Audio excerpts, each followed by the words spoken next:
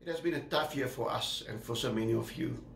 We have had to deal with an array of challenges that we had never faced before. So let's go into some of these challenges. Our staff had to work from home. Certain families lost loved ones to COVID 19. The economy was disrupted. Our children's school were disrupted.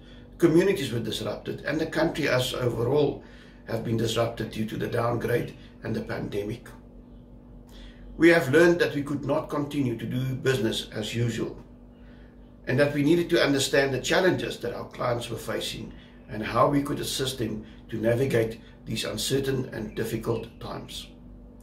In order to do that, we needed to adapt and learn and be innovative to ensure that our clients could thrive and also ensure security for the employees.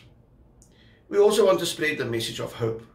Hope that people and companies and this country will be stronger due to the challenges and adversities that we have all faced together. Stronger because we stood together against a common enemy. Stronger because we've learned how resilient and adaptive we are as a country and a nation and how important relationships are in trying times. Thank you for your relationship with us, for your trust in us, and for your ongoing support.